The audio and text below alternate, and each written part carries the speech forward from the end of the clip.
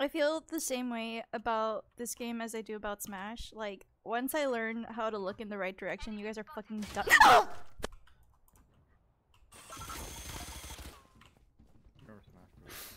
Anyways.